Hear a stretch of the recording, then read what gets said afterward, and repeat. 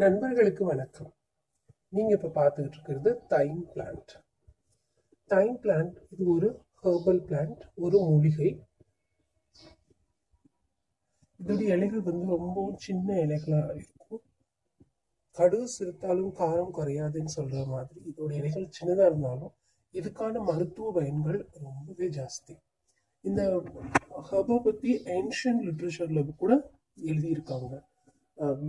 Egyptian வந்து இதுலேருந்து செய்யக்கூடிய ஒரு ஆயில் தைம் ஆயில் இந்த ஆயிலை தான் எம்போமிங்காக யூஸ் பண்ணியிருக்காங்க. எங்க? இன் மம்மி மண் மம்மி செய்கிறதுக்கு இந்த ஆயில் தான் யூஸ் பண்ணியிருக்காங்க. இது ஒரு நல்ல ப்ரிசர்வேட்டிவாகவும் ஒர்க் பண்ணுது. இதனுடைய மனம் தான் இதில் ரொம்ப ரொம்ப பெரிய விஷயம். ரொம்ப ரிச் அரோமா இதில் இருக்குது கிரேக்கர்கள் எப்படி இது யூஸ் பண்ணியிருக்காங்கன்னா இந்த அரோமாவை ரொம்ப நல்லா யூஸ் பண்ணியிருக்காங்க அவங்க. இது வந்து காய வச்சு குச்சி குச்சியெல்லாம் ஊதுபத்தி மாதிரி செஞ்சு கோயில்களில் வச்சுருக்காங்க.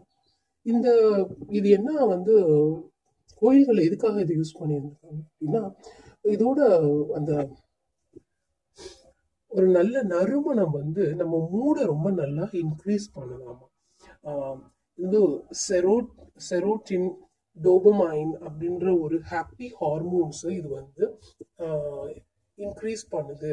அதனால நம்ம இது வந்து ஹாப்பி ஹார்மோன்ஸ் நம்ம மூடை வந்து ரொம்ப ஹாப்பியாக வச்சிருக்கிறதுக்கு இது உதவுது அப்படின்னு சொல்லி சொல்கிறாங்க இது உண்மைதான் அப்படின்னு நான் நினைக்கிறேன். நான் நிறைய தடவை அதை ஃபீல் பண்ணியிருக்கேன்.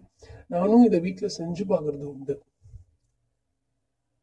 அது மெடிடேஷன் டைம்ல இது ரொம்பவே நல்லா இருக்குது. அப்புறம் ரோமன்ஸ் வந்து யூஸ் பண்ணியிருக்காங்க அப்படின்னு பார்த்தீங்கன்னா இது வந்து சீஸ் ஆட் பண்ணி சீஸ் பண்ணியிருக்காங்க. அது வந்து ஒரு நல்ல ஃப்ளேவராக இது கொடுக்குது உடம்பு அப்புறம் இந்த இதில் ரொம்ப ரொம்ப முக்கியமான ஒரு விஷயம் இந்த டைமில் என்ன அப்படின்னு பார்த்தீங்கன்னா இது வந்து இதில் வந்து ஆன்டிபாக்டீரியல் இது எபிலிட்டி இருக்குது அந்த குவாலிட்டி இருக்குது antibacterial quality anti fungi quality இதெல்லாம் இருக்கு. இன்செக்டிசைடாக கூட இது ஒர்க் பண்ணுது. நம்ம பாடியில ரிங் worms அந்த மாதிரி சம் um, சொறி சரங்கு அந்த மாதிரி ஏதாவது இருந்ததுன்னா நம்ம வந்து இந்த இலைகளை வந்து நல்லா அந்த இடத்துல ரப் பண்ணி விட்டோம்னா அந்த இடத்துல ரொம்ப குவிக்கான ஒரு ரிலீஃப் கிடைக்கிறது நம்ம பார்க்கலாம். பாருங்க எவ்வளோ நல்லா வந்து ஒரு பஞ்ச் மாதிரி இது வரும். புல்லு தரையில் நீங்கள் வச்சுட்டிங்கன்னா விதின் ஒரு ரெண்டு மாசத்துல அந்த தரை ஃபுல்லாவே நல்ல ஸ்ப்ரெட் ஆயிரும். இது ஸ்ப்ரெட் ஆகி வளரக்கூடிய ஒரு தாவரம் தான் இது. இதுல வந்து விட்டமின் சி இருக்கு ஏ இருக்கு அப்படின்னு சொல்றாங்க.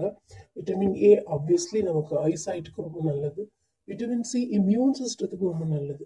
நமக்கு இம்யூன் சிஸ்டம் கூட்டுற பொருள்கள் நம்ம நிறைய சாப்பிட்டுக்கோம் அது இல்லாம இது நம்ம மருந்து மாத்திரைகள் சாப்பிட்றதுனால இருக்க அந்த ஆன்டிபயோட்டிக் உடம்புல தங்குற ஆன்டிபயோட்டிக்கை இது ரிலீவ் பண்ணிடுது எடுத்துருது அப்படின்னு சொல்கிறாங்க ஸோ யாராவது ஹாஸ்பிட்டல்லேருந்து வரும்போது நம்ம ஒரு தைம் டீ வச்சு கொடுத்தா அது ரொம்ப நல்லது.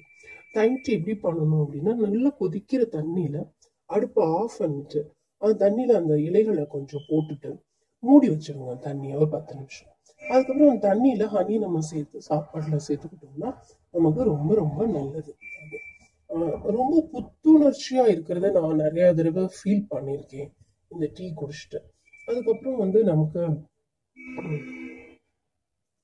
இது நம்ம ஃபிஷ்ல ஃபிஷ் ஃப்ரை பண்றப்ப கொஞ்சம் ஆட் பண்ணா அன்னைக்கு உங்களோட ஃபிஷ் கொஞ்சம் வித்தியாசமான டேஸ்ட்ல இருக்கும். வித்தியாசமான ஃப்ளேவர்ல இருக்கும். ஸோ பிள்ளைங்க ரொம்ப அதை என்ஜாய் பண்ணுவாங்க. உங்க பீஸால உங்க சலாடில் சலாடில் ட்ரெஸ்ஸிங் சலாட் ட்ரெஸ்ஸிங் பண்ணுவாங்க. ஆலிவ் ஆயிலோடயே கூட. இதோட இலைகளையும் நம்ம சேர்த்துக்கிட்டோம்னா அது சொல்லவே முடியாது. அந்த அளவுக்கு ரொம்ப நல்லா ரிச்சா இருக்கும் நம்ம சலாடு இந்த பெஸ்ட் கேன்சர் ஆக்டிவா இருக்கவங்களுக்கு ட்ரை பண்ணியிருக்காங்க. இது ரொம்ப நல்லா அவங்களுக்கு அந்த கேன்சர்ல இருந்து ரிலீவ் ஆகிறதுக்கு ரொம்ப ஹெல்ப் பண்ணியிருக்கு. ஸ்பெஷலா பெயினுக்கு வந்து ரொம்ப நல்லா ரிலீவ் பண்ணியிருக்கு. இது பெயின் பெயின் கில்லராகவும் நிறைய உபயோகப்படுத்துறாங்க. ஏன்ஷியன் பீரியட்லயும் உபயோகப்படுத்தி இருக்காங்க அப்புறம் நம்ம இன்னொரு விஷயம் ரொம்ப நல்லா பார்க்க வேண்டிய விஷயம் அப்படின்னா நமக்கு இந்த மூச்சு முடியாம இருக்கிற அந்த நேரங்கள்ல இதோட இலைகளை நம்ம வந்து தாராளமா கொதிக்கிற தண்ணியில போட்டு நல்லா கொதிக்கும் போது ஆஃப் பண்ணிடுங்க அடுப்பை கொதிக்கிற தண்ணியில ஆவி பிடிச்சோம்னா இது ரொம்ப ரொம்ப நல்ல குயிக் ரிலீஃப் கிடைக்கும்.